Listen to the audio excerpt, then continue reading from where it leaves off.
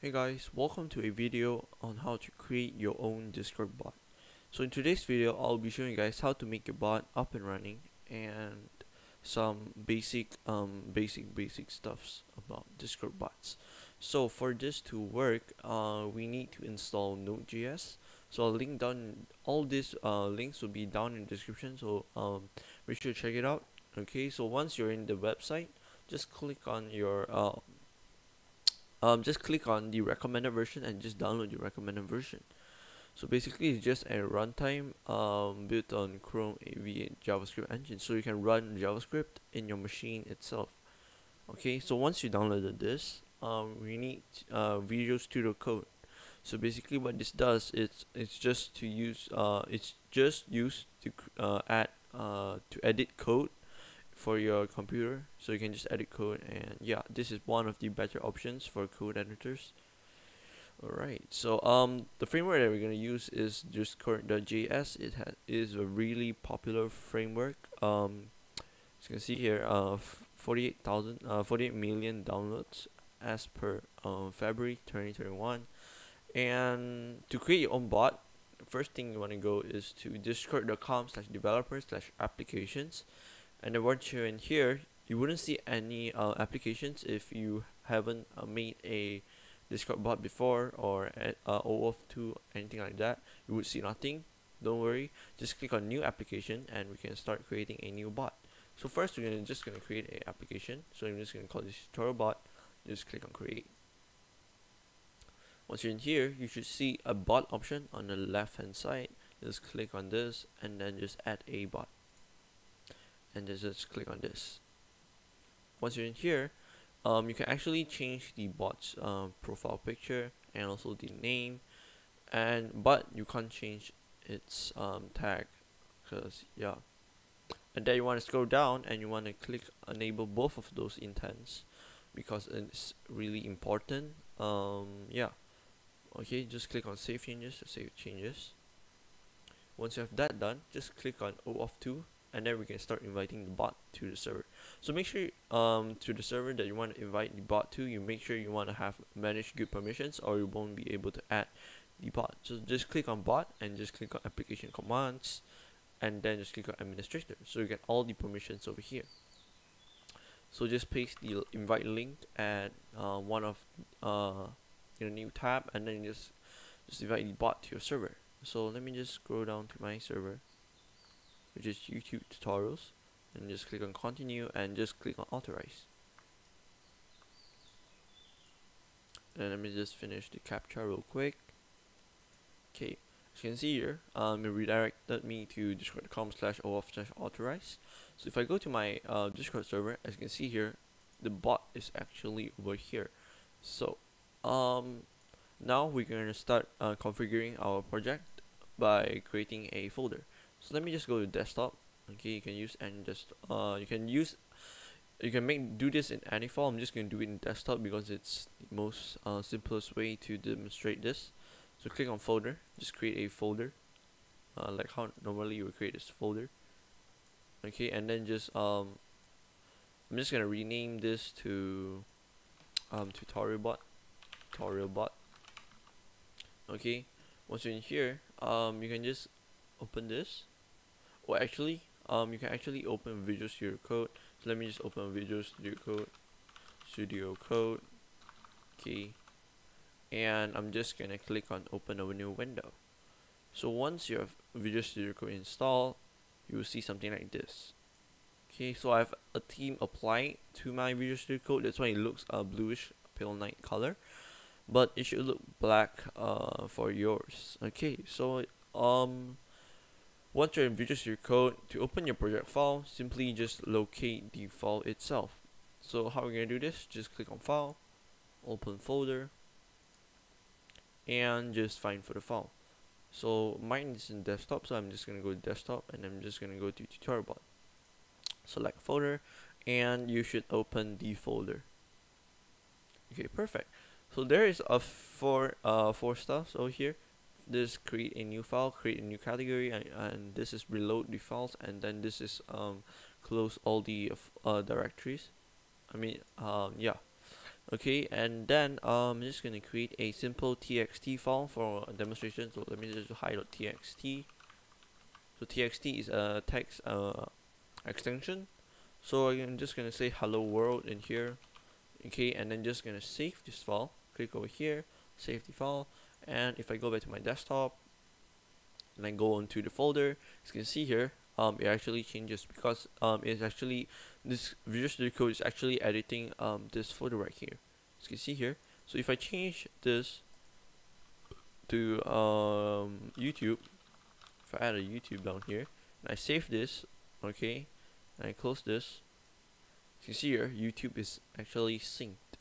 Okay so let me just delete this because we don't really need this so to start this project we're gonna initiate this project by doing uh let's go to terminal click on new terminal. Okay once you're in here just to npm init dash y. So just initiate the project for us. And then uh, we need to install the uh, discord.js framework by doing this uh, npmi discord.js so npmi install discord.js so let's just wait for it to install.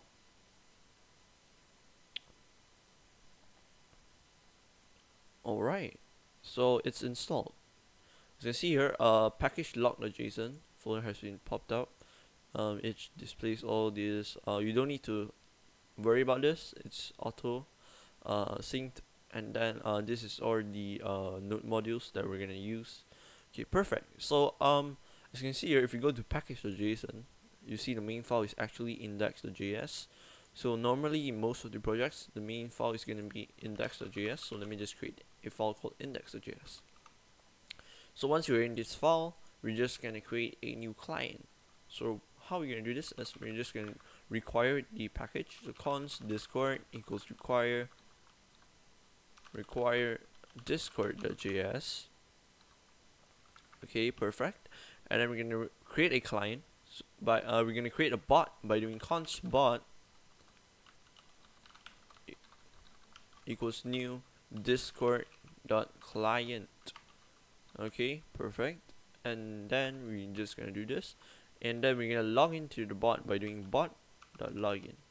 And then we're gonna paste the bots token in here. So let me show you how to get the token real quick. So you're in here and then you want to locate to the bot section make sure you're not taking the client ID make sure you want to get the um, bots token. So this bots token is the way for uh, anyone to authorize and use this bot. So make sure you keep this um, token private in private so that uh, others can't log in into your bot. So just click on copy. Okay and then just put it in a string so just put a quotation mark and then just paste the um the uh, login token in here and just save it. Okay? So now we're gonna create a ready event. So if the bot is ready and then we're gonna log something. So we're just gonna do this by doing bot dot on and then it's gonna it's a ready event so ready. And then once it's ready we're just gonna do console dot log um the bot is ready and online. Okay and then um we can actually run the bot by clicking on terminal. You're just gonna click on new terminal. And we're just gonna run the bot by doing node dot. Okay as you see here the bot is ready and online. So if I go to the server as you can see here the bot is actually online okay so perfect. So let me just pull up some examples from discord.js so let me just um, demonstrate some examples of getting a bot up and running. Okay so this we, we already done this and then um we're gonna start doing uh we're gonna console log message. So now there's an event called bot.on message async or we can just do message so you're just gonna pass in message and then we can actually console log message content content being the uh, message itself message the content. And then we can also console log the user by doing message dot author dot tag. So it's displaying the uh, content and also the author's tag. Let me just save this. Let me just run the bot again okay to do this just simply do ctrl c or command c and then you'll be able to go to the next line and restart it. Okay and then um so if I type something here like hello world as you can see here it will actually show the message content. As you can see here over here message content and the tag. Okay so my tag is um recon uh and then hashtag 8448 and it's right here okay so now it's perfect. So let me just make some commands. Um so we're gonna make some commands by doing some basic if statements. So if the message dot content is equals to um ping and then we're just going to message dot channel dot send pong. So what if the message content is ping right here. If the message content is ping we're just gonna send pong. So let me just try this again. Okay and then let me just go to this discord server.